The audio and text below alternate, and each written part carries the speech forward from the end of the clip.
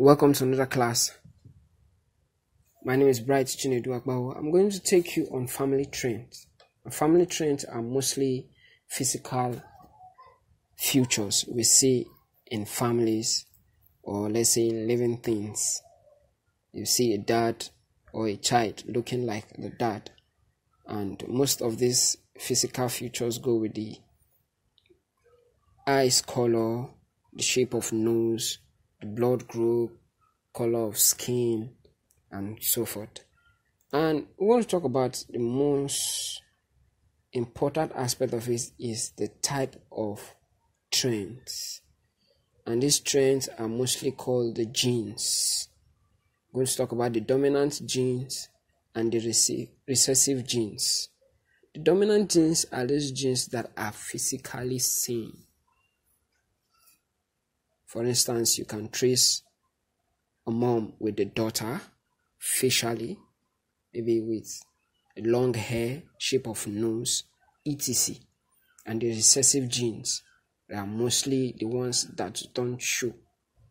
Basically, the blood, blood group, maybe a child needs blood and you want to go to the parents, you can easily trace it from either the dad or the mom.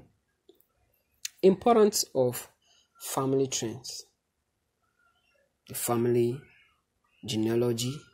Sometimes it is in it is represented in family trees maybe tracing a child in the generation in maybe the, the second or third generation. We say okay his dad is from so so so place. They have the same eyes. They have the same nose they, they have the same walking steps things like that. And secondly we'll talk about the intelligence.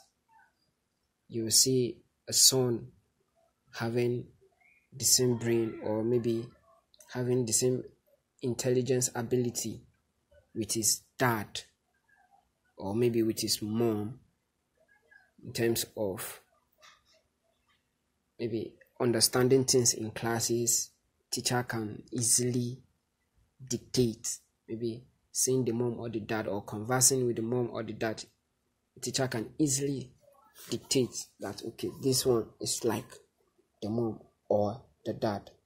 Thirdly we want to talk about resemblance. Resemblance you will see mom and dad looking like or you will see a child and the mom looking like twins. It's possible. So most of these importance of family traits, the resemblance. Also, we'll talk about the diseases. You will see if there is, uh, let's use for an example, an asthmatic patient can possibly give birth to an asthmatic child. These are some of the family trends we're talking about.